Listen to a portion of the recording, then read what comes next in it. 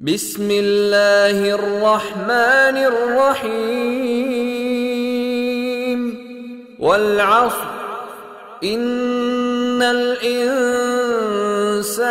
لفي خسر.